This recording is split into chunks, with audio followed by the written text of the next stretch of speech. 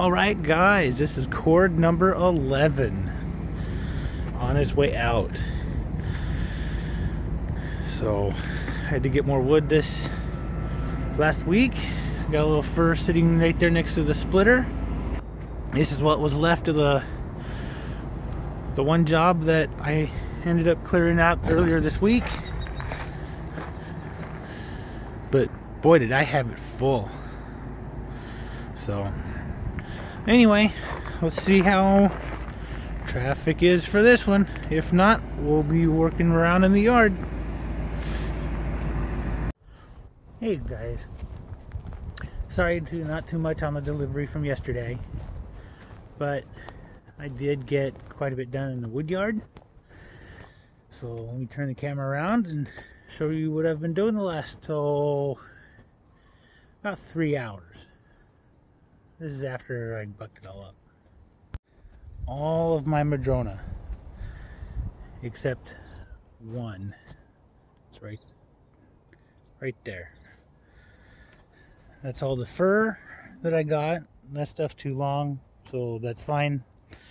That pile's over 16 inches, so it'll be campfire wood. Which is gone next load is Saturday. And then this stuff here, it's all 16 and under. That'll be Mother's Day weekend. And that's what I guess you would call my cookie pile just little odds and ends 10 inches and under but for about the last four hours I've just been splitting away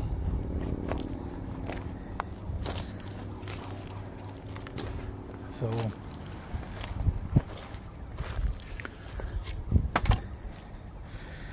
this here's uh, maple. There's another piece underneath yeah it's right there. But that's where I threw it all and I'll just stack it all right there. So yeah give me an idea that gas can sitting there's uh, two and a half gallons so anyway let's get some pallets set up and start stacking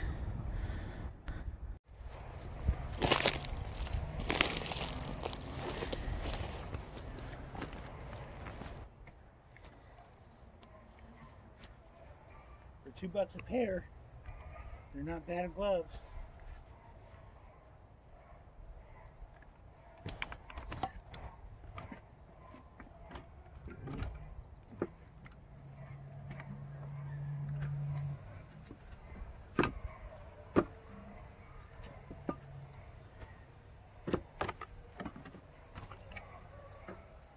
Split everything down about the size of your hand sometimes a little bigger.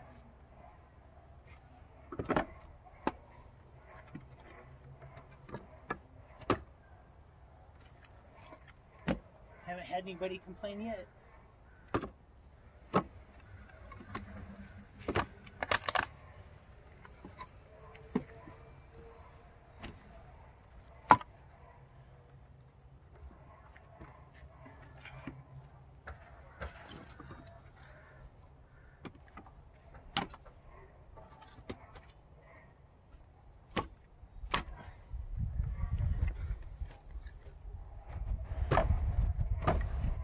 Guys in the Midwest, this stuff, this stuff burns like uh, Osage orange.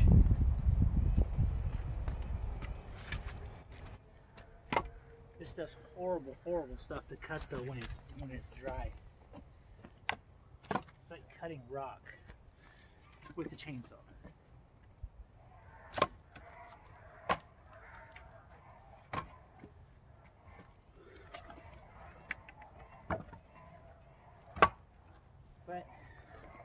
My friend to bring over another load of this stuff.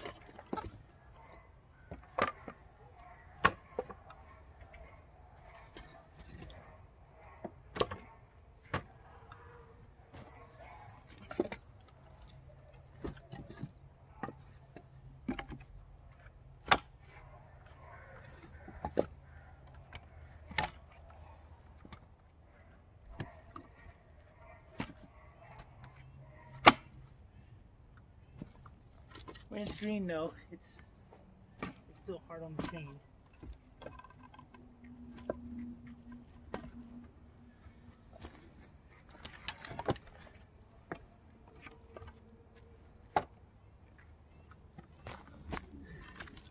But it's definitely not as bad as when it's dry.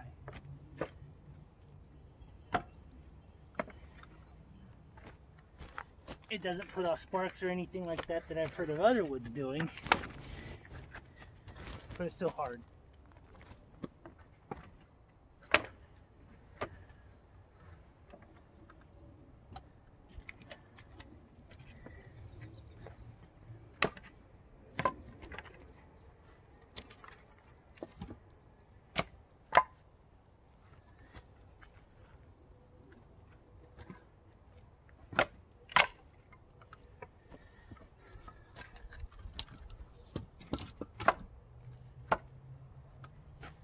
Anyway.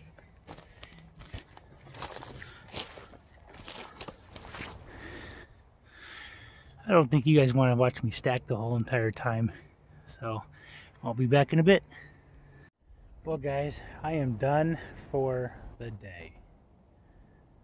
A log pile that was right there where the log splitter is sitting. It's all done. Cut it up yes on Saturday. Today is Sunday. I split it all today and stacked it all today. So let me show you what I stacked. And for those of you that have the same model of splitter, I have some information for you guys that might help you. So let me show the stack and I'll be back. Okay, so it was all there. You guys watched me start the stack there. Two rows deep and three pallets wide. I'm done for the day. How Chris in the woodyard does it just about every day or every other day. you have man that's a lot of work. Not to mention I have all of that still sitting there. And that's about another 10 cords deep. And I think it's 30 33 feet long. So but it takes me all summer to do that or all winter to do that. So anyway let me show you on the splitter and I think we'll call this one a wrap. But yeah all madrona arbutus bucking I think calls it arbutus or madrone. But nice air gap all the way through just can't quite see all the way through. That's okay. But anyway on the splitter I have measured out from the back plate here going to this bolt here is 17 inches. So that means about here to this first point between here and here is 15 to 16 inch. So for those of you with this kind of splitter I don't know what year it is. I haven't bothered to look for it nor do I kind of care. Anyway I thought that'd be a little good little bit of tidbit information for you guys. And then you don't have to sit there and measure out everything. You measure it once on the table and kind of have an idea of about what each one of those triangle pieces, those cutouts are. On this side, no idea. I don't work from this side. So, yeah, this side here, I don't know. But it's an idea.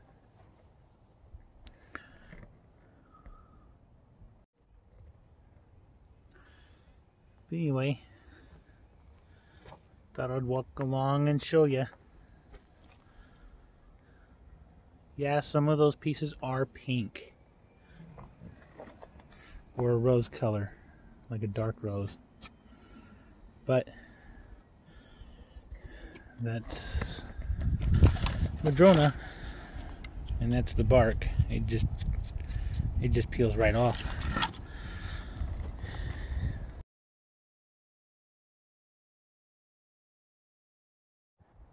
Anyway, guys, I think I'll call it a week on this one. Where that's at, it'll get tons of sun, tons of wind, and hopefully it'll both both stacks here will be ready to go by fall. If not, oh well, next year. Someone will enjoy it. But uh, yeah, the little 27 ton splitter did does a good job for for me. You only spent 700 for it, so can't argue, can't complain. It's done what I've needed it to do. Anyway, we'll see you next Wednesday, and till then, have a good week. And uh, if you got to drive or travel anywhere, travel safely. So, for this week for me, it's get the trailer loaded up and truck loaded up one more time for a delivery early Saturday morning. Uh, for those of you that don't, that might know the Pacific Northwest a little bit, it's going to be just west of SeaTac International Airport. So that's where I was uh, last Saturday. That's where I was, yeah, last Saturday. So, but uh, from my house to there, it's only like 45 minutes, maybe an hour, depending on traffic. Coming home, about the same.